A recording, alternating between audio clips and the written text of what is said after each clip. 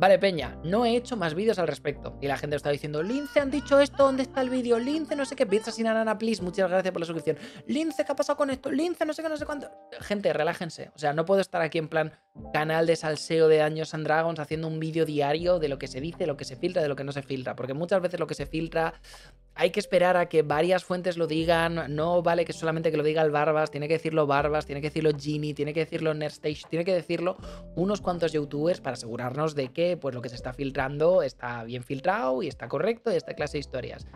Em, ahora mismo hay muchísimo ruido. O sea, hemos pasado por unas filtraciones muy tochas eh, que se ve que no eran del todo correctas y ha habido gente que ha tenido que salir a hacer vídeos retractándose porque estaban tirando más mierda de la debida y le estaba cayendo a los desarrolladores de la aplicación de D&D y a los diseñadores del juego que no tienen culpa de nada. Ellos son otras víctimas aquí y si están filtrando esta información es precisamente porque se preocupan por la afición y saben que es un suicidio lo que están intentando poner encima de la mesa entonces, pues tampoco es cuestión de echar más mierda de la debida. Y todavía hay dentro de las nuevas, ah, de los nuevos anuncios que están poniendo, mucha mierda que se está filtrando que bueno, hay que rascar un poquito la capa de mierda y hay que mirar un poco lo que hay debajo.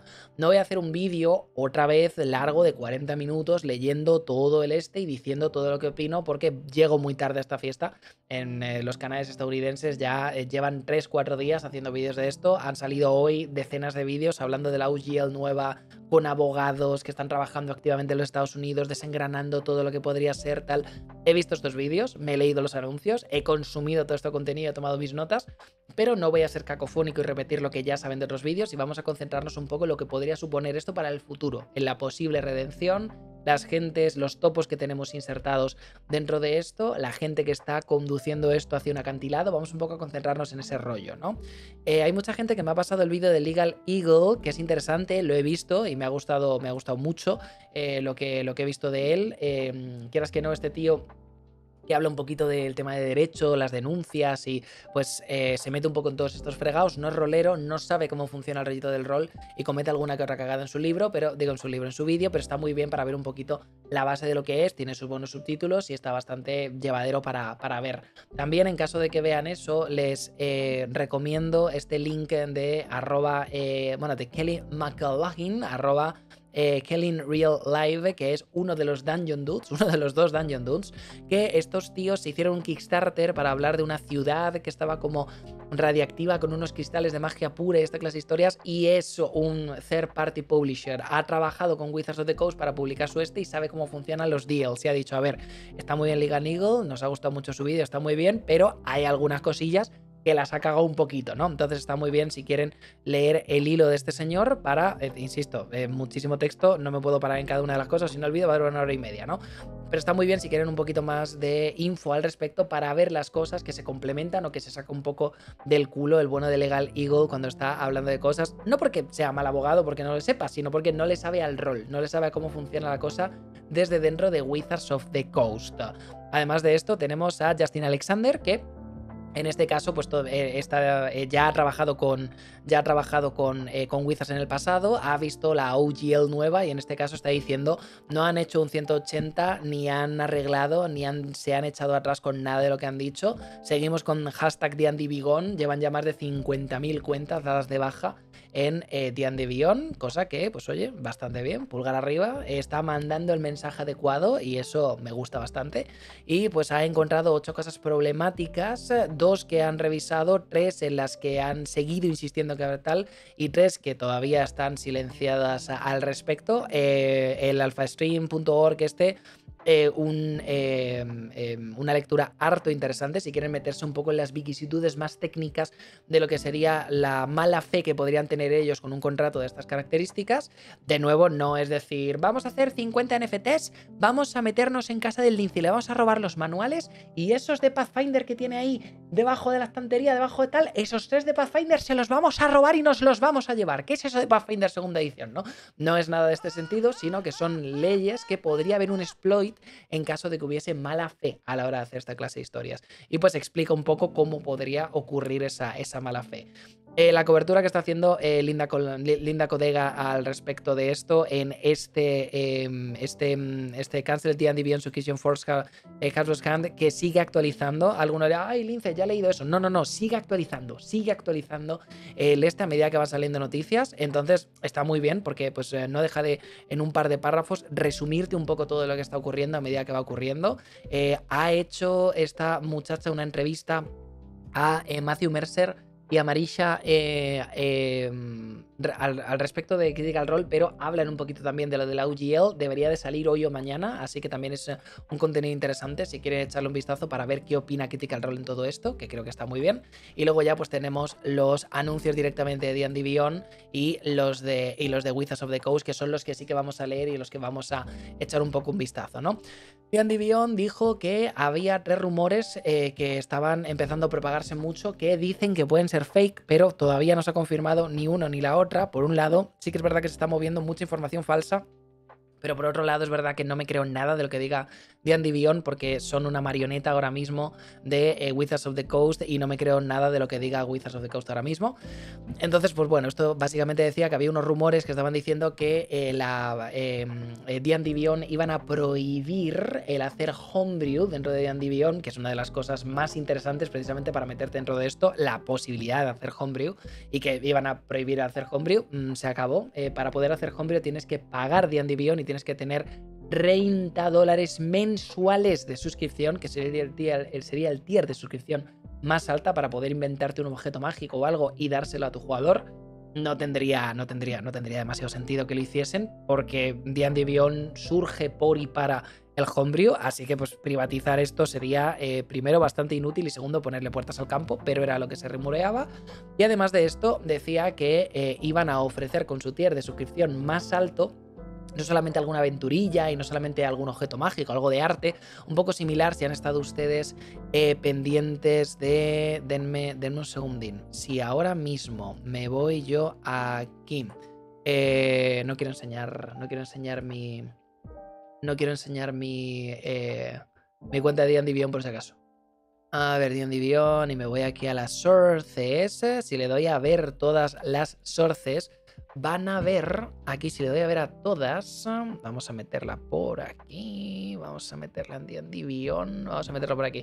Si les abro aquí mis sources de Beyond, van a ver que tengo los libros que he ido pillando, pero además de los libros, pues tenemos aquí, por ejemplo, The Turtle Package, que viene la raza de la tortuga, tenemos One Grug Dove, que es una aventura y viene también los Grungs como raza jugable, el Playtest, que te lo desbloquean, te lo deja desbloquear en función de si está activo o no está activo. Tenemos el Mordekaines Findis Folio volumen 1. Teníamos aquí el Spelljammer Adventure in Space. Tenemos el dossier de Vecna. Tenemos el compendio a la Dragon Lance que regalaron por el calendario de Adviento, ¿no? Este tipo de cosas que te van desbloqueando cada X y te quedan dentro de la cuenta no son libros que estás comprando, son cosas que tienes que pillar por evento o son contenido que tienes que ir directamente a por, a por él, ¿no? Este contenido se liberaría también en este tier de 30 dólares mensuales, así que no solamente te daría la posibilidad de hacer homebrew, sino que también te daría la posibilidad de eh, pues pillar cachivaches como estos. Que a ver, el volumen 2 de la Dragonlance Creatures, pues es verdad, como que tiene mucho arte muy chulo y está muy guay, pero realmente 1, 2, 3, 4, 5, 6, 7 7, 8, 9, 10, 11 monstruos, cuando dos de ellos son investigadores que directamente son NPCs, como la Irda sí que estos son NPCs. La verdad es que me daría un poquito, un poquito, me revolvería un poquito el estómago el tener que pagar 30 dólares de suscripción para poder inventarme un objeto mágico y que me den un folio de 8 monstruos. Me sería un, un golpe en la cara eh, hasta el punto de que dejaría de pagar D&D Beyond y me pasaría full a Fundry BTT. O sea, mm, se acabaría, se acabaría todo. Me compraría mis libros físicos, estaría con mis libros físicos, pero se acabaría todo eso porque no, porque no tal. Me compro los, los libros digitales en D&D Beyond y en lugar de pagar su plataforma para hacer los encuentros algo de esto, directamente funciona con Foundry, con el importador de Mr. Primate y a tomar por saco, ¿no? Pero bueno, además de esto decían que lo que iba a crear valor verdaderamente dentro de esa suscripción de 30 dólares era que ibas a poder jugar los nuevos módulos con una inteligencia artificial. Iban a poner una inteligencia artificial a dirigirte los módulos. Entonces, si estás jugando Chult, te diría, pues estás en una ciénaga, ¿qué quieres hacer? Y yo quiero eh, seguir hacia adelante. Sigues hacia adelante y te encuentras unos kobolds. Eh, tiro persuasión, fallas tu tirada de persuasión. Como los primeros juegos de rol en base de texto pero esta vez en lugar de diseñados, llevados por una inteligencia artificial, por el módico precio de 30 dólares al mes, con 8 monstruos y la posibilidad de que te inventes mierda si quieres inventarte mierda en la, el, el juego que está hecho para inventarse mierda, ¿no? Obviamente la gente estaba eh, echando espuma por la boca cuando le dijeron este tier de suscripción y The Andivion ha salido para decir, oye, no, esto es mentira, esto no se está haciendo, esto no está ocurriendo, eh, no sé qué lo está diciendo, pero por favor párenle, nunca jamás haríamos esto. Yo no me lo termino de creer, pero tampoco me creo ciegamente lo que decía el Barbas y lo que decían los otros al respecto, porque mm, pueden ser cosas que, bueno, que estén, pueden ser cosas que no estén tan bien, pero mm, suena un poco raro. Simplemente desde un punto de vista práctico, el pensar que ponerle homebrew, puertas al homebrew, que es súper importante, limitar lo que hace third party, que es un poco la rueda que quieren incentivar para cobrar derechos de la third party.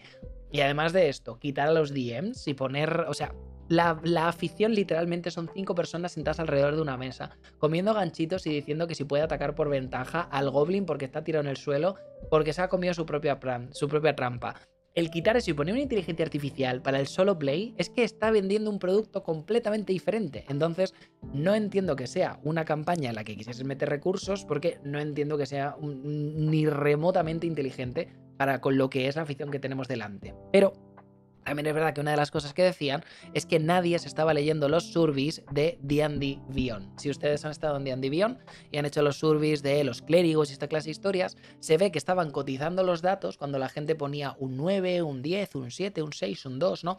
Estaban viendo cómo estaba la gente de contenta o de triste viendo los resultados de esto, pero todo lo que la gente escribía los textos de ¿por qué esto? ¿Por qué no sé qué? ¿Por qué no sé cuántos? Nadie se leía absolutamente nada. Entonces no había comprobantes y simplemente veían el quesito de los datos, cotejaban con lo que estaban haciendo ellos y veían el grado de, eh, acierto de la, de la esta. Y la gente se ha preguntado, si nadie estaba leyendo esas cajitas de texto, ¿por qué narices estaban poniendo cajitas de texto? Pues bueno, las malas lenguas de nuevo han dicho que era porque ellos iban a desarrollar su propio juego como a ellos les diese la gana que la comunidad no iba ni a pinchar ni a cortar y que era todo una engañufa para que la gente, en lugar de quejarse en Reddit diciendo estas reglas están rancias, no las quiero, voy a seguir jugando con quinta edición y por tanto no voy a pagar por el nuevo contenido, era una engañufa para que la gente, en lugar de escribir en Reddit, escribiese dentro de los propios formularios y ellos pudiesen limpiarse el culo con esto. Bueno, ha salido un D, va a decir que esto es falso, ha salido un D, va a decir que había un, señor a la cabeza de la dirección que obviamente tenía un poquito este rollo, pero que se le despidió hace tiempo porque el trabajo que estaba haciendo era negligente y que había mucha gente que estaba leyendo los datos y estaba cotejando algo más que fuese simplemente las estas, que tenía muchísimo valor y que aunque no niega que de cara a Hasbro, de cara a los ejecutores, a los producers, de cara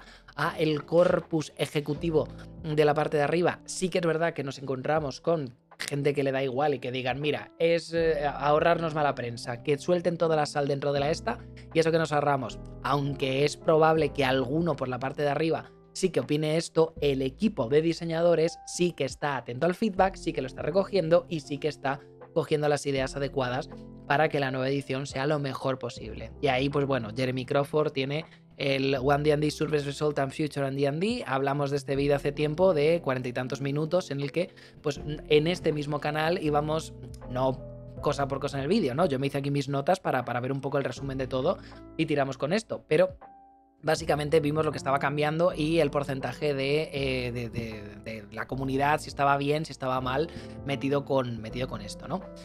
Quiero pensar que dentro de la gente que está diseñando el juego hay peña que de verdad está leyendo, hay peña que de verdad está pendiente de las reglas y hay peña que de verdad está eh, queriendo que One Andy sea lo mejor posible. Y creo que simplemente la mala prensa que tiene ahora mismo Wizards of the Coast, la mala prensa que tiene Hasbro y que todo el mundo quiere ver esto arder que Paizo vuelva otra vez a ponerse de la esta o que directamente nos fragmentemos en 50 RPGs diferentes y no volvamos a tener un monopolio grande hasta que salga Orc y todo el mundo pueda hacer algo con un sistema descentralizado, están un poco pidiendo sangre donde no la hay. Y ya han salido varios de creadores de contenido que estaban precisamente haciendo este tipo de vídeos. El Barbas, el primero, diciendo: Mi información es siempre consultada con abogados, mi información está siempre para proteger a los insiders, pero no es infalible. Siempre habrá un porcentaje de que haya un poquito de los in translation o de que no sea tal. Me disculpo cuando esto sea así. Y además de esto, hay mucha gente muy buena que quiere que la afición esté lo mejor posible, trabajando para gente muy mala. Entonces, gente, no vayan a hostigar el contenido nuevo, no vayan a hostigar cualquier decisión o cualquier cosa cuando los diseñadores están en Twitter porque ellos no tienen la culpa de nada. A ellos se les ha dicho lo que se iban a hacer una semana antes de que nos lo digan a nosotros. Esta gente está trabajando en productos nuevos para la línea de 2024, llevan meses trabajando para esta línea de 2024 y no se han enterado de nada hasta la semana pasada. No tienen culpa de nada. Porque, pues bueno, Reddit siendo Reddit, han ido a asaltar a la gente que está diseñando los libros nuevos, because Reddit siendo Reddit. Hemos vuelto a hacer justicia, gente. Thumbs up. Pero bueno, es un poco lo que es. La movida aquí es que ya finalmente ayer salió el artículo para la 1.2. Se supone que estamos ya eh, con el draft. Ahora sí que han dicho que es un draft y lo que han dicho es que estamos haciendo un playtesting. La gente ha dicho, ¿cómo que playtesting? Y ellos han dicho, bueno, lo vamos a llamar playtesting porque es como la gente entiende que funcionan estas cosas. Nosotros ponemos un contrato, me dicen lo que está bien, me dicen lo que está mal y luego después ya vamos a lo largo de dos semanas corrigiendo lo que sea.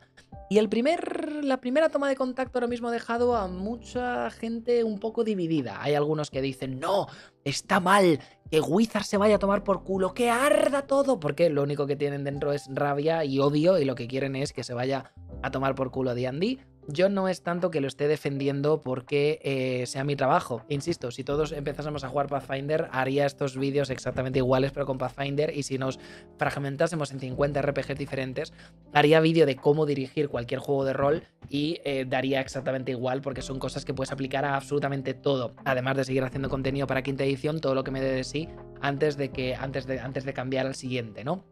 Tengo mucho contenido third party, tengo también cosas de Starfinder, tengo también cosas de Pathfinder, tengo cajas de inicio. Me queda mucho de 20 de aquí al futuro, ¿no? No voy a quedarme sin, sin tirar de 20 y sumarle característica o bono de competencia anytime soon. Pero incluso si fuese así, simplemente podría hacer vídeos rollo running the game como los que hace el señor Matthew Cobile y podría hablar de reglas hombre que utilizo dentro de esto, expedientes roleros de mis partidas con mis amigos. No tendría problema de, ah, se va la mierda la quinta edición, se va la mierda el canal del lince. El canal del lince de rol funcionaba antes y tiene muchas partidas de rol, más narrativas, menos narrativas, y sigue rodando con apoyo, sin apoyo de Wizards of the Coast. Pero hay mucha gente que quiere pues eh, un poco esta sangre y que vuelcan todo esto en eh, algunas cosas que, que creo que están un poquito de más, como atacar a los devs, o directamente que cualquier cosa que digan, incluso siendo una mejora, siga siendo una mierda y siga estando todo mal, ¿no? En este caso, eh, hay gente que está diciendo, está muy bien, han mejorado las cosas y la cosa está tirando hacia adelante, o sea que pulgar arriba, pero haría falta esto, esto y esto cambiarlo. Y hay otros que están diciendo que es inaceptable y que no van a aceptar otra cosa que no sea la OGL 1.1a como la de los 2000 sin que toquen absolutamente nada. Wizards on the Coast va a actualizar la OGL no es una, no es una, o sea, va a ocurrir sí o también, no es algo que vaya, no es algo que, que, vaya a dejar de cambiar, pero pues está escuchando feedback de la comunidad, más le vale escuchar feedback de la comunidad porque, insisto, 50k mm, de suscripciones de D&D Beyond perdidas y subiendo, ¿no? Entonces les interesa verlo porque es la principal vía de lo que han invertido en esta plataforma, la, primera, la principal vía de suministros y de ver qué tal está yendo el tema de los dineros y ahora mismo la cosa está bastante mal. Así que pues bueno, hemos forzado la mano pero está bastante bien y nos hemos unido como comunidad, que está muy, muy chulo, tío. Warhammer está eh, cuesta abajo y sin frenos desde hace mogollón de tiempo, pero la gente un poco por el FOMO, un poco por seguir jugando, por tener las unidades nuevas, por seguir con el lore, por lo que sea, siguen comprando, siguen consumiendo y así está Warhammer a día de hoy, ¿no? Tenemos Magic the Gathering, que ha tenido uno de los peores años de su historia, no paran de sacar cartas, a la gente no le gustan los sets, lo que más sacan es Commander y están intentando ver cómo aprietan Commander para joder también Commander, cuando la gracia de Commander era precisamente no tener que jugar el draft y estar con el competitivo de los últimos dos años y aún con todo están forzándose a ver cómo se meten en las partidas ajenas. Y de nuevo cuando sacan cosas, sacan colaboraciones, al final están tirando su imagen de marca y la gente sigue comprando por el FOMO, por el Fear of Missing Out, y siguen otra vez eh, tirando eso y soterrándolo poco a poco. Pero con DD eh, era imposible que ocurriese. DD, no voy a decir que somos inmunes a esta clase de historias, pero es el, atacar el hobby perfecto para que toda la comunidad diga no y se gire y se vaya a tomar por saco. Primero porque tenemos una historia en la que ya lo han hecho antes y Paizo se les comió el torrao durante 10 años y precisamente por eso deberían de haber aprendido. Si no han aprendido, en ese caso lo van a volver otra vez a aprender por las malas. Segundo, porque tenemos mucha capacidad de organización, porque hace falta mucha capacidad de organización para juntar a 5 o 6 personas una vez a la semana, una vez cada dos semanas, una vez al mes. Hace falta mucha capacidad de, de colaboración.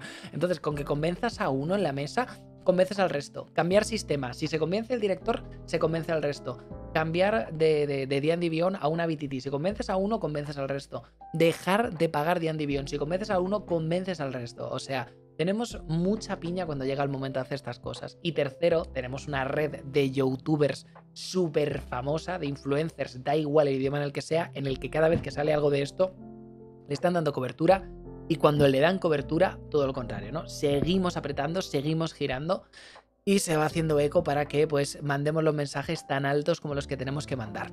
Esto parece que ha hecho que la cosa funcione en el sentido de que las nuevas reglas de Daños Dragons van a salir en Creative Commons 4.0. Lo tenemos por aquí en el anuncio que teníamos por aquí, que decía bajo Creative Commons CC BY 4.0. La licencia está libre, puedes encontrarlo por aquí. Lo que significa que tirar un D20, sumarle característica y sumarle competencia es completamente libre. Lo que significa que ya con Python no van a juicio porque es libre y no va a aplicar. Con cualquier, con Forbidden Lands, con lo que sea, no van a juicio porque ya el de 20 más tal más tal está completamente libre de derechos. Lo que no está libre de derechos es el elfo que te sube la percepción, el Goliath que es medio humano, medio gigante que te sube la constitución y te permite cargar más peso, la clase que se llama paladín que puedes mitear a la gente, ¿no? Lo que son las reglas específicas de Dungeons and Dragons es lo que está protegido por pues toda la nueva OGL que están intentando empujar. Están diciendo aquí que la UGL es un proyecto que está en development, que van a seguir escuchando a la comunidad y el feedback para, eh, antes de firmar una UGL 1.2, que van a añadir el contenido a una .2 por encima de lo que habían enganchado eh, en el tema del Creative Commons, por encima de lo que tenía la original, porque pues se adecua más un poco a la discusión de estos tiempos y que lo están llamando un playtest porque pues es la forma en la que la comunidad de D&D entiende cómo funciona esta clase de historias. Es increíble que todos estos posts tengan menos likes que un aviso mío de que me de directo. O sea, es impresionante que diga, gente, directito y tenga más likes que eh, un puto aviso de D&D Beyond. O sea, hasta qué punto la, la, la comunidad está completamente en contra de todo lo que se está viendo. De verdad que me apena mogollón. Me apena muchísimo, pero muchísimo cómo han dilapidado y cómo están intentando salvar la cara una vez y otra vez y otra vez, día a día, con cualquier cosa. Y la comunidad está ya de morros y no se va a olvidar de esto hasta dentro de mucho, muchísimo tiempo. Incluso si los siguientes libros son increíbles, incluso si One D es una pasada de juego, incluso si seguimos siguiendo, si seguimos teniendo el soporte third party que teníamos para quinta edición, que ya les digo que no va a pasar, pasaron las vacas gordas, gente. Ahora es cuestión de si vamos a pasar a medalla de plata o vamos a pasar a medalla de cobre, ¿no? Veremos a ver qué ocurre. Pero bueno, la medida de esto es que pues, están intentando dejar de forzar la mano, están intentando poner un poquito en Creative Commons, están intentando que los pleitos que se iban a sacar con Python, porque bueno, pues Python, a ver, Starfinder, por ejemplo, tiene al androide, tiene al hombre lagarto, tiene al hombre, al hombre hormiga, ¿no? Tiene estas clases, pues no tienen nada que ver con quinta edición, eh, con el rollo del paladín y esta clase de historias. Lo único que podrías eh, demandar ahí es que tire un de 20 más característica más proficiency, pero eso va a pasar a ser Creative Commons y sería complicado. Python dijo que no podías poseer, no había copyright para una regla de un puto juego de mesa, ¿no? Que no podías ponerle copyright a eh, tiro un dado de seis caras y avanza un número de casillas igual al número de lo que haya salido en el dado. Y que si estaban intentando llevarles a juicio precisamente por eso que iban a, que iban a ir a juicio y a defenderlo. que Pathfinder segunda edición era lo suficientemente diferente como para entenderse como dos juegos completamente diferentes, paralelos en su desarrollo el uno al otro, y que si seguían metiendo el rollo de la OGL era más para proteger a la gente que hacía hacer party de sus productos que al contrario, ¿no? Y me creo que pueda ser así porque he jugado un año Pathfinder segunda edición, no he llegado a dirigirlo, pero he jugado un año Pathfinder segunda edición y tiene poco que ver con quinta edición. Sí que es verdad como que es fácil pasar de uno a otro porque no deja de ser el rollo de la competencia, las mismas características y esto, pero el sistema de las tres, de las tres acciones es completamente diferente. El rollo de pillar una dote de clase, una dote racial, bueno, de ancestry, perdón, que no se dicen razas ya. O una eh, dote de lo que sea eh, se hace cada vez que subes de nivel. Eh, es un poco. Es, como. Es como. en, en Dungeons and Dragons es un gnomo. Y el gnomo te da cosas a nivel 1, a nivel 3 y a nivel 5. Eres un luchador que te da cosas a este nivel, este nivel, este nivel, este nivel. Y luego tienes una subclase que te da cosas a este nivel, a este nivel, a este nivel. Y cuando tienes subida de característica, puedes escoger una dote, ¿no? Eh, Pathfinder es un poco igual, pero en lugar de eh, tener como cuatro caminos y en función del nivel que hayas avanzado, avanzar por un camino o por otro, te deja elegir un poco todo, ¿no? Toca elegir dote de gnomo, pues no te. o sea, te deja que es como un buffet, ¿no? Puedes coger una cosa de eh, gnomo de la piedra y luego puedes coger una cosa de gnomo de las montañas y luego puedes coger una cosa de gnomo de las praderas, ¿no? Y a medida que vas subiendo y vas pillando dotes raciales, pues te vas poner unos, te puedes poner otros, es como muchísimo más texto, pero al mismo tiempo es lo que digo, ¿no? lo que digo siempre porque al final es lo que es, es la baraja de Magic, es el desde nivel 1 hasta nivel 20 ver cómo quieres configurar tu personaje, ir avanzando y haciéndolo. Y luego las mecánicas pueden ser diferentes, pero son muy, muy difíciles, o sea, ya decimos siempre lo de la reacción, de la reacción para levantar el escudo, mitigar un poco de daño y que luego después tengas que reparar tu escudo porque te lo rompen en combate, ¿sí? Eh, te quitan más puntos de vida que los que tiene el escudo, así que tienes que pensar muy bien si quieres utilizar una de estas acciones para levantar el escudo y protegerte.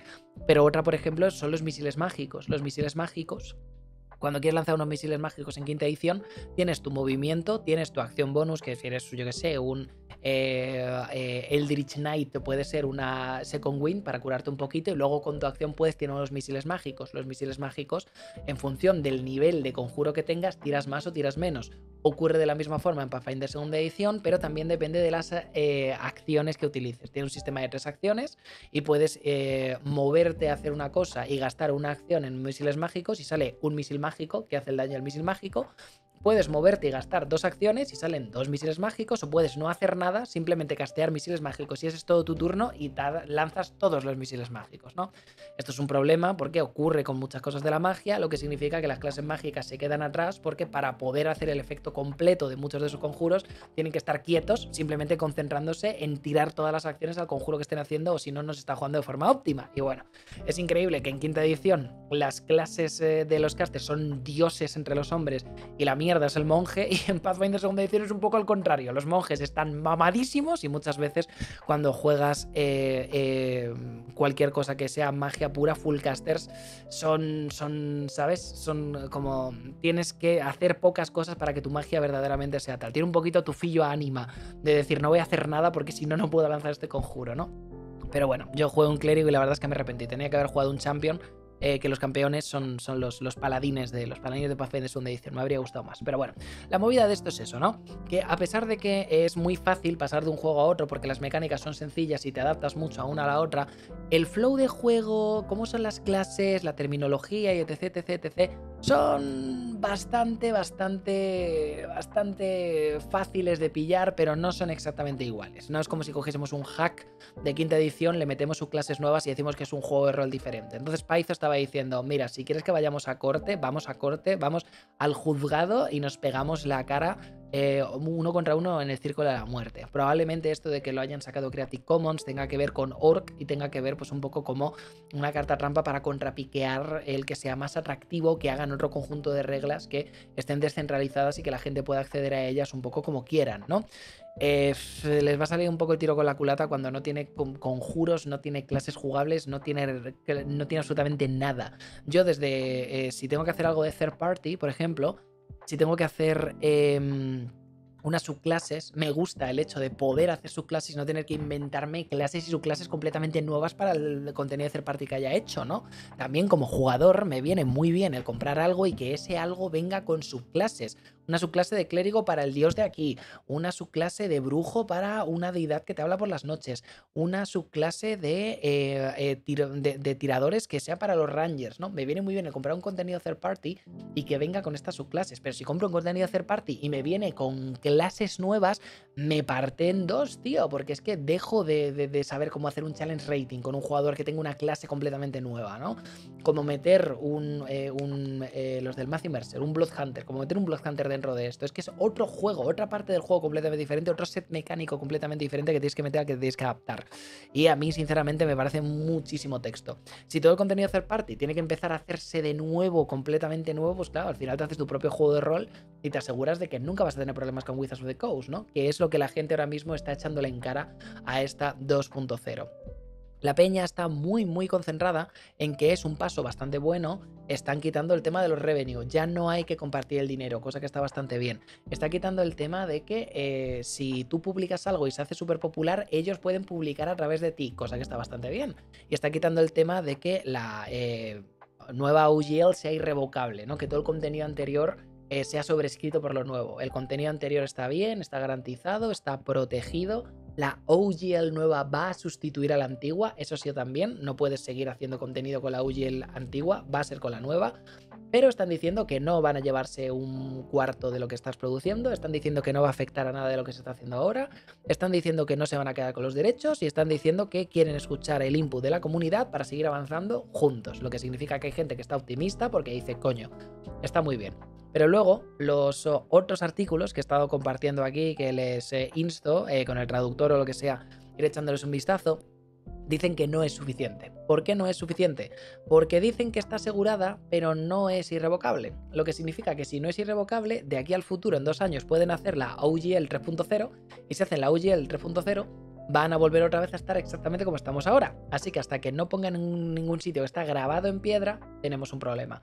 Dicen que no se van a quedar con el trabajo que haga nadie, pero que si ellos hacen algo que sea muy similar, que si firmas con ellos la OGL, que ellos tienen derecho a hacer lo que quieran.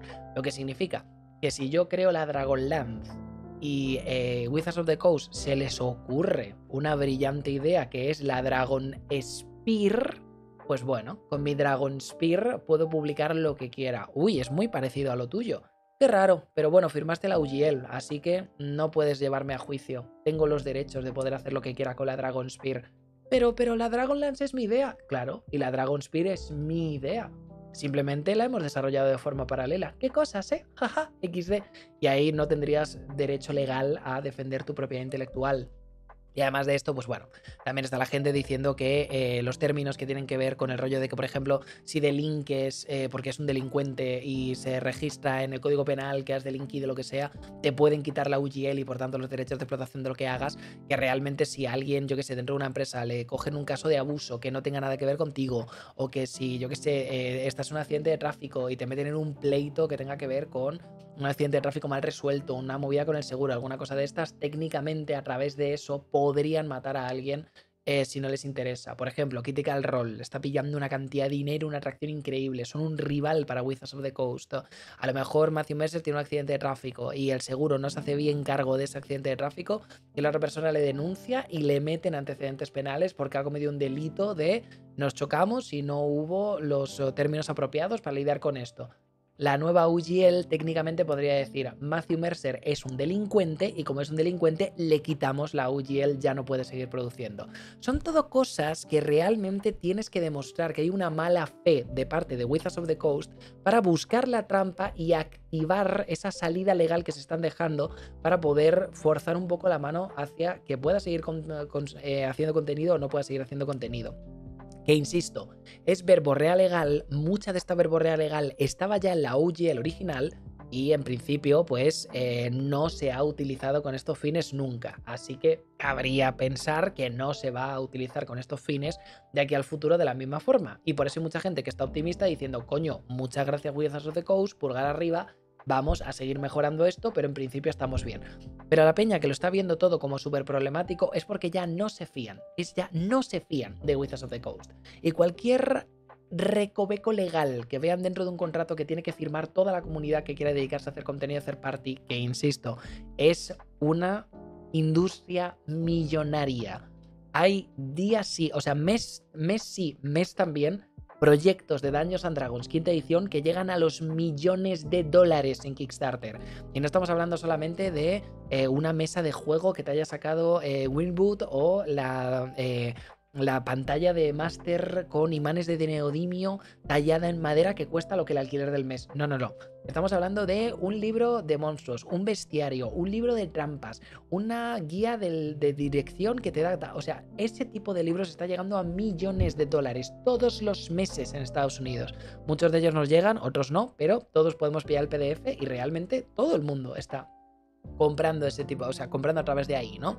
El más esperado, el de Steinhardt, que es el que es rollito Dark Souls, rollito Bloodborne, después del fiasco del de Dark Souls quinta edición que estaba hecho de la mierda, todo el mundo que está, que está pendiente de eso, está pendiente de un tío que vive en los Balcanes. Si este tío vive en los Balcanes, claro, eh, ¿Cómo sabemos que, el código pelar va a ser el mismo que en Estados Unidos? ¿Cómo sabemos que algo que en Estados Unidos no es, ¿sabes? Por ejemplo, el rollo, eh, em, em, yo qué sé, tío, cualquier cosa. Tener el accidente de tráfico, las drogas, por ejemplo. Eh, em, casarte con tu prima. Casarte con tu prima hay estados en los Estados Unidos en los que es legal, estados en los que es ilegal y estados en los que es una minor offense. Coño, o sea, los Estados Unidos, si tú te casas con tu prima, te morreas con tu prima mientras suena el himno de Monterrey. No sé cuál es el himno de Monterrey, ¿no? La canción de titi, tiriti, tiriti, tiriti, la pajarita, no sé qué, no me acuerdo cómo se llama. Pero bueno, si suena el himno de Monterrey y tú te morreas con tu prima mientras tus tíos, se pegan en el piso de abajo y te vas a determinados eh, estados en los Estados Unidos, es ilegal.